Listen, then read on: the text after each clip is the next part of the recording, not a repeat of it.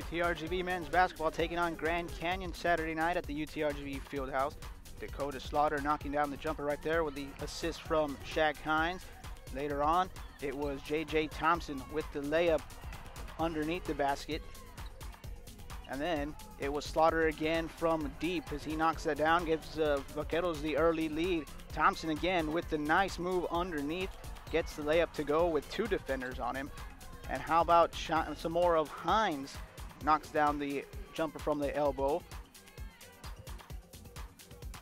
Knock down another three right there. It's a one of seven in the first half. But how about the night from Everett Osborne? He knocks down the jumper right there. Then another one from the right elbow this time. He gets it to go. And then one more from Osborne as he finished with a career high 16 points.